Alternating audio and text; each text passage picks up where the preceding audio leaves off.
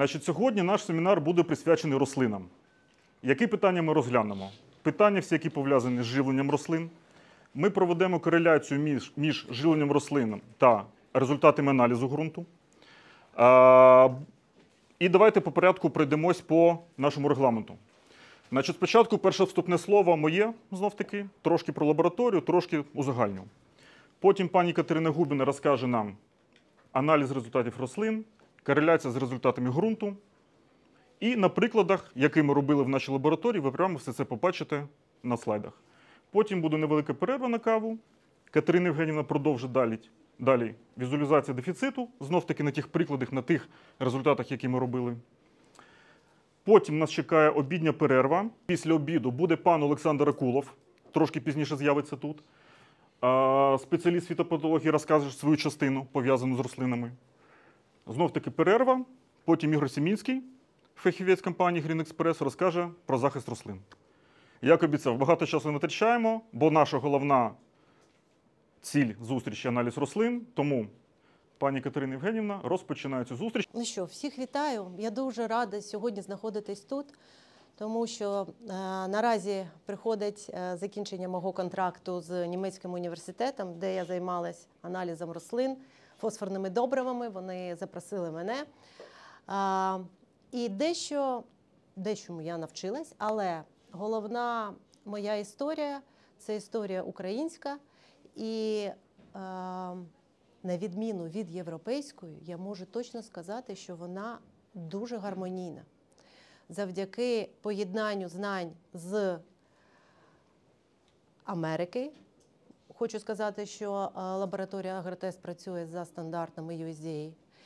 І нашими українськими реаліями, нашим спеціалістам, і хочу сказати, що працювати тут дуже дуже цікаво і продуктивно. І ми дуже flexible, як це сказати, е, варіабельний, так. І сприймаємо всю інформацію дуже швидко і можемо її запровадити одразу ж, на відміну від, наприклад, бюрократичного Дойчленда. Так, все. Аналіз рослин.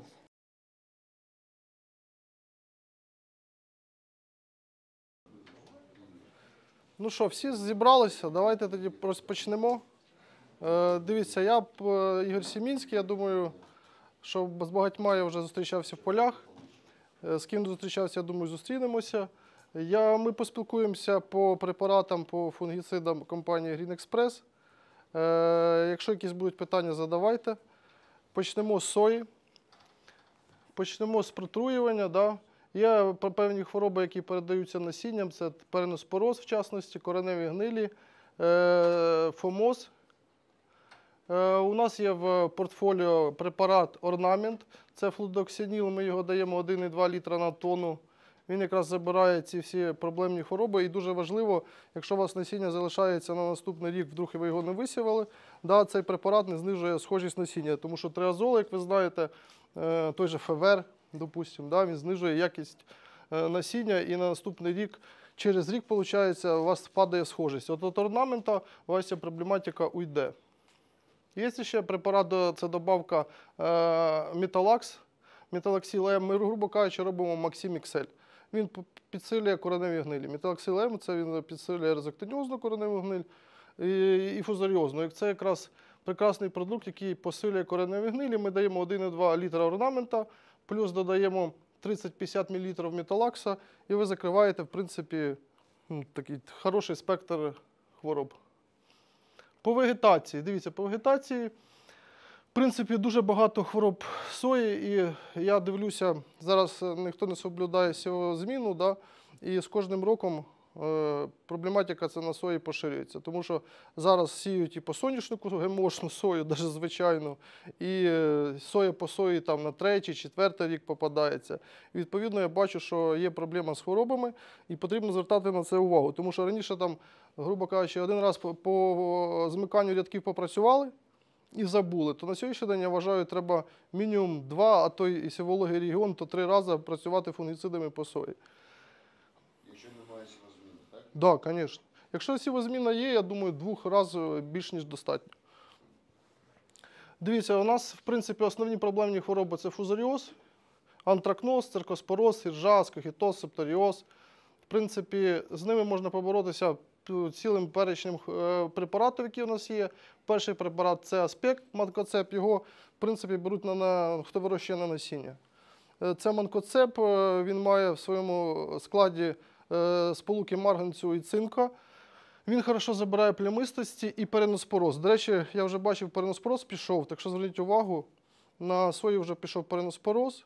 Якщо хто не робив, то треба заходити, особливо де дощі були, і працювати по хворобам, по переноспорозу в частності. Тому що я вже побачив його на тому тижні, вже він масово ну, в броварах, допустимо, в погребищах вже пішов.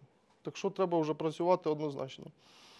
Цей препарат хорошо забирає переноспороз, плюс він має контактну дію, тобі ж його великий плюс, якщо вас ви пропустили хворобу і у вас є вже якісь прояви е, спороношення хвороб, того ж, допустимо, циркоспорозу, да, ви можете його пригасити, випалити, да, тому що він має контактну дію на хвороби. Е, Його норма 2-3 кг на гектар. Якщо в бакових сумішах можна робити його з металаксом, допустимо, там 1,5 плюс металакса 0,2. Є в нашому портфоліо тібуконазол. В принципі, це Fortesa Total, основний з продуктів. Він хорошо забирає плямистості і є певна дія на білу гниль. Якщо ви будете давати його, допустимо, з тим же ми дійдемо сигналом, це баскалідом, чи будете додавати з протиоканазолом, він, він хорошо забирає. В принципі, всі плямистості, аскохітоз, е, альтернарію, е, циркоспороз, е, крім переноспорозу. Якщо хочете забрати переноспороз, треба додати туди стробулюрін, чи можете металакс. Ну, стробулін це старлайт, азоксістробін, чи металакс. І, в принципі, ви закриєте тоді повністю весь спектр хвороб. Е, Норма внесення його йде від цього препарату від 0,5 до 0,6, достатньо в баковій суміші. Е, Що в нього ще хорошо? Він е, е, по ціні, я вважаю, один з самих таких нормальних варіантів, тому що він там коштує, грубо кажучи, там, до 10 доларів, 0,5 літра це 5 доларів, це захист ну, досить дешевий. Скомбінували з строболяріном і отримали хороший захист. Старлайт, я за нього тільки що казав, ізоксістробін. Його ще плюс великий, що він подовжує вам вегетацію рослин. От за- завдяки, е, вже казали, цього вігор-ефекту, да, продовження вегетації. Тільки з ним треба акуратно. Якщо у вас жара, все-таки треба його вносити десь 0,3-0,4 літра на гектар, тому що великі дозіровки е, йде стрес для рослини, йде підв'ядання. Може хтось бачив по соняшнику, по сої, якщо ви використовуєте по жарі його 0,5, 0,6 і більше дозіровки. Йде підв'ядання рослин і йде стрес для рослини. Так що на жару його бажано зменшувати десь до 0,3 до 0,4 літрів на гектар. Навіть якщо вночі, вночі вносиш і днем велика температура, бажано ну, зменшувати. Тобто, ж, якщо температура выше 30 градусов, желательно можно увеличить тоже протеканазол добавить, да? Или увеличить э, триазол, ну, этот, э, допустим, если мы вносим тибуканазол. Лучше его увеличить до 0,6, а стробулерина уменьшить где-то 0,3-0,4. Потому что у меня было такое, что я на подсолнух носил 0,5-0,6, ну, подвядал, и на соя тоже подвядала. Именно на жару. З прилипателем? Без. Без, да. У нас э, появился новый продукт Trinity, трифлоксистробин. Он, в принципе, конкурирует с азоксистробином. Э, Кто-то любит его, ну, мы его больше позиционируем для рапса, для подсолнуха. Его много кто вносит э, с, с тем же триазолом. Чем хорош норма внесения, видите, он более концентрированный, 500 грамм на килограмм. Хорошо забирает э, те же пятнистости, тот же на подсолнухе, ну, на сое мы берем сейчас. Это, э, я считаю, альтернариоз. Сейчас проблема с пятнистостью на сое номер один. М, се- Ну, все септориоз, э, циркоспороз, в принципе, все пятнистости, которые там вызывают базидиобицеты, он отлично справляется и забирает. Есть вот это хороший продукт, мне он нравится, протеоканазол. Вы можете его даже использовать, ну, на сое я не рекомендую, да, мы дойдем до кукурузы, его даже некоторые используют как протравитель. Есть такой ФВР, может кто-то слышал. Вот на кукурузу некоторые у нас его берут и используют. На сое можно, но не рекомендую. Да, супер. Э, На сое я бы его не рекомендовал, потому что, я же говорю, он Если э, посеете глубоко, он рострегулирующий эффект имеет, да, и получается вы можете недополучить сходы. Если посеете, допустим, влаги у вас не будет, и вы посеете там на 6 сантиметров, на 5, то с чистой флудиоксанил, там и металлакс, орнамент с металлаксом, сходы у вас будут прекрасные, то с протеоканазолом у вас может быть э, ну, проблема с схожестью, потому что он реально садит э, в схожесть. Хорошо забирает пятнистости, э, хорошо с, допустим, с сибуканазолом, протеканазол хорошо забирает тот же фузариоз. Да, да, вот на пшеницу у нас в этом году очень много взяли, чтобы забрать фузариоз э, на, там, на, на колосе. Плюс он есть э, действие на склеротинию. Вот, это такой один из новых продуктов, очень его, как бы мы сами вносим, да, у себя в АТК, и у нас много э, компаний, партнеров его используют против бактериозов. На сегодняшний день это проблема номер один, никто не обращает внимания, но реально по бактериозу, в связи с тем, что ну, нарушен севооборот, бактериозы с каждым годом, я смотрю, все больше и больше прогре- прогрессирует. И вот как раз изугамин, это природный антибиотик на основе стрептомицис казугуминс. Это хороший продукт против бактериозов и еще имеет дополнительные действия на, ну, на яблоне это парша, на сое это переноспороз, он параллельно там как бы частично на картошечке, да, его много берут у нас на орех. Кстати, МХП взял у нас полностью его на ореховый сад в этом году. На тысячу гектаров ореха. Ну, овощники его любят, у нас берут его. В принципе, он такой раскрученный продукт, и как раз я считаю, что один из лучших по бактериозу. Потому что раньше все привыкли медью работать, да, но эффективность не та. А по стрептом, ну, по зугамину, в принципе, все довольны, все, кто не использовал, отмечают, что реально есть прирост и урожая, да, и проблематика с бактериями. Ну, конечно, да. Так, по кукурузе. Вот давайте по сое, может, какие-то вопросы будут? Мы так галопом по Европу пробежались. А вы тут только по фунгицидам? Да. Я вижу, что сейчас клещ творит везде. И не только по сое. Ну, смотрите, по клещу я считаю, смотрите, это как и по болезням. Если ты прозевал клеща, так и само, как и болезнь, тогда ты уже, что вноси, что не вноси, будет эффект от этого. Работает. Не, Юр, смотрите, его надо на опережение. Если чем раньше ты внес, тем больше будет эффективность. Э, Что клещ, что, допустим, фунгициды. Если вы видите, что у вас там, допустим, пошли условия, допустим, сейчас температура и влага большая, то у вас в любом случае пойдет что? Переноспороз в первую очередь пойдет, пятнистости на сой. Заходите раньше, не ждите там смыкания рядков, еще чего-то. Заходите раньше, раб- делайте как профилактику. Потому что все ждут там замыкание рядков или еще чего-то, потом пропускается болезнь, и что ты не делай, да, ты ее пригасил, там приостановил развитие, а потом ходишь и говоришь, что препараты там, может, или не сработали, или еще что-то. Это вы просто поздно поработали. Так же самое по клещу. Если он уже пошел, чтобы вы не вносили, Игорек, тройничок, смотри, вот если ты делаешь спирос, префект и каратель вместе. О, я уверен, что да, ну, цена труда, Юр. Ну, Еще, ну давай, пусть это даже будет стоить все вместе 30 долларов. Ну да, где-то так. Ну, есть смысл? Даже мен- меньше чуть даже. Ну, все вместе это будет стоить до 30 долларов. Да. Все три. Есть смысл. 25. Да, где-то так. Ну, полный смысл. Согласен. Я вчера видел, как клещ уродует кукурузу. Подсолнух, Вчера да. в Кировограде был просто уродует. Ну, там, И он там пошел так- недели там три назад. Так ей нехорошо, понимаешь, да, всему этому, потому что сухо. А там, а клещ просто вот это, ну, он кончает. Ну, уже поработали. У моих всех, кто, как бы, кто брал, то недели две... э, Клещ первый пошел недели три назад. Да. Где-то в Кировограде, в Днепре. Вот мне уже звонили ребята, говорили, что особенно от рапса. Ну, я в Котовске видел позавчера тоже, у нас немножечко пострадало тоже клещи. Ну, и, на- Мне, я, я, я карателем работал во всех этих, ну, вот со всеми гербицидами. Но все равно одну обработку 11-12 лист пропустил и, и словил чуть-чуть клещей. ну, кто поработал на опережение, я вам скажу, проблем нет. У меня, допустим, в покрове есть кукуруза и подсолнух. На подсолнух ну, клещ там сжирает нижние листы. А по кукурузе, где поработали с пиросом и карателем плюс, вообще там, нету вообще ничего. А подсолнух там сейчас страдает по полной. Ну, ничего не сделаешь. Да, да, так и есть. Смотрите, по кукурузе это стандартная история. Допустим, орнамент тот же флодиоксанил 1,2 литра. Протиоконазол рекомендую. Э, Очень дешево и Да, очень дешево и сердито. Я считаю, что там его грамм 100 на тонну, может даже больше, в зависимости там от нюансов. Э, За, там, не знаю, на гектар вам обойдется там 20 центов, 30.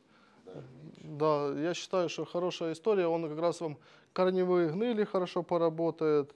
Антракноз, который есть на Западной Украине, кстати, развивается. Просашку обычную, да, летючую, не пухырчатую, он хорошо ее валит. Соответственно, я говорю, за такие деньги, пол, там, грамм 100, 100 с- вам хватит с головой, чтобы его это все усилить на тонну. да. На 40. Смотрите, по кукурузе, вот сейчас тоже с многими общаюсь, говорят, вносить фунгициды, не вносить. Я считаю, что там, где ты э, первый, ну, у тебя севооборот нормальный и кукуруза первый год, я бы не вносил фунгициды. Если у тебя кукуруза по кукурузе, второй, третий год там и дальше, обязательно вносите фунгицид. Обязательно. Ну, потому что я замечаю то же самое, как, как вот с подсолнухом говорили. Никто не вносил там фунгициды или раз максимум, да. То у нас, э, я думаю, через лет пять на кукурузе будут минимум раз, а то и два вносить фунгицид. Будут вносить по девятому, двенадцатому листу, это первое внесение, и дальше там по метелке. Это вот мое мнение, я думаю, вот пять лет, и все в эту историю перейдут и будут два раза шлифовать ту кукурузу аж бегом. Ну смотри, Игорь, когда порт работает и доны никто не меряет, то бог с ним, понимаешь, да? А когда порт не работает, то это ваш. Да ну и само собой, ну слушайте, оно и, и прибавку свою дает. Смотрите, как ни крутись. Слушай, Я поза... ну, когда в 21 году делал эксперимент, ну, дает, не дает. Достоверно нельзя подтвердить, что дает. Ну, смотрите, опять, это кукуруза по кукурузе? была кукуруза. Все, я же говорю, не надо вносить. Да. Если кукуруза по кукурузе, я бы вносил. Однозначно. Но Я если, сейчас вношу. Я после того до Нового года вношу, понимаешь, что в прошлом году уже не было у меня дона. Вообще кукурузка была идеальна. ну, есть ржавчина, вот эта проблема большая, гельминтоспориоз. Ну, тут вы можете посмотреть, как он влияет на массу тысячи. Да? Если у вас, грубо говоря, там 5% лис- листа заселено гельминтоспориозом, у вас нормальная масса тысячи. Если у вас до большая половина лист, листа гельминтоспориозом заселена, да, у вас масса тысяча падает там на половину, да. Соответственно, чем больше он развивается, тем меньше у вас масса тысячи, потому что лист съедается, да, отмирает, и зерно не наливается. Заместо того, чтобы вегетировать в конце сезона и набирать массу тысячи, кукуруза что делает без листьев? Сдыхает, и масса тысячи, соответственно, проваливается. Есть такая болячка, как антракноз, видите? Это обычно болезнь э, западных регионов. Где много влаги, он проявляется, особенно кукуруза по кукурузе. Ну вот сашки, да. Сашку можно протра- протравителем снять. Пухырчатая это только стойкость гибрида и севооборот. Смотрите, мы пользуемся Starlight с фортецией, либо Trinity с фортецией. Пожалуйста, можете сами как бы э, принять для себя. Я рекомендую мне вот последние там года я работаю Starlight, я даю 0,5 литра и добавляю фортецию ноль- э, тоже 0,5. В принципе, прекрасно работает, забирает все пятнистости. Э, как говорит Юрий Геннадьевич, донов после нее точно нету. Фузариоза, она нормально сберегается. Если у вас большие площадя, вам надо, чтобы кукуруза постояла там до... Это еще лучше, это просто по деньгам чуть дороже, да. Но оно лучше, но и же по деньгам будет чуть дороже. Согласен, что лучше. Но я же говорю, особенно кто большие площади и кукуруза по кукурузе, однозначно работайте, от этого будет толк. Так, по подсолнуху. То же самое, есть переноспороз, есть пятнистости. Можно чисто металлокси- металлаксом, это тот же опрон, 2,5-3 литра использовать. Я рекомендую э, орнамент 5-6 литров и добавить полдозировки металлакса на тонну подсолнуха. У вас, в принципе, проблематика с корневыми гнылями, да, и с тем же фомозом, который передается под э, семенами, будет уходить. Так, по вегетации. Ну, это проблема тоже, как, как и на этом, как и на сое мы говорили, что севооборот нарушен. Я считаю, что по подсолнуху тоже севооборот нарушен. Сейчас в этом году его, я думаю, миллионов под 6 посеяли гектаров. Севооборот никто не выдерживает, особенно юга, центр Украины. Куча подсолнуха и, соответственно, куча болезней. Вот основная это переноспороз, фомоз, гниль. Есть у нас композит, мы его обсуждали, карпиндозим. Его многие берут, ну не знаю, наверное, тысяч 30-40 гектаров у нас каждый год идет под первую обработку карбендазимом. Да, он запрещен, я согласен, в Европе, но по старинке его используют, берут полтора литра, вносят с четвертой по восьмую пару э, подсолнуха, забирают хорошо пятнистости, есть частичное действие на склеротинию. Есть тибуканазол фортеця, понятно, это по кошику. Его, кстати, нельзя мешать с граминицидом. Если композит карбендазим у нас мешают с граминицидом в баковой смеси, то тибуканазол тоже нельзя работать. Струбулерин, Starlight тоже с граминицидом его не- не- не- нежелательно в эту фазу использовать, потому что жара, может, могут листья подвядать, т- тургор будет падать, и, соответственно, у вас будет э, отставание в, ну, в развитии подсолнуха. Он будет стрессовать дней 5 минимум, пока отойдет от стресса от э, стробулерина на жару. Потому что не будет жары, оно проскочит, только жара будет там больше 30 градусов. С граминицидом у вас эта проблематика будет. Тоже трифлоксистрабин, баскалит. Вот смотрите, я вот сейчас в этом году э, испытываю вместо карбендазима на первое внесение по смыканию рядков, да. Ну, на первое, мы говорили, там, с четвертой по восьмую пару листьев. Я его давал с граминицидом прекрасно, э, и, и чисто, и с граминицидом. С граминицидом вообще проблем никаких э, нету, ни подвядания, ни стресса. И на второе внесение я сейчас тестю два препарата, ну, три препарата. Это фортеця, тибуканазол плюс протиоканазол и пол дозировки стробулерина в фазу уже зірочка, початку цветения. В принципе, пока подсолнух стоит чистый, я не видел проблем с болячками. Все, спасибо.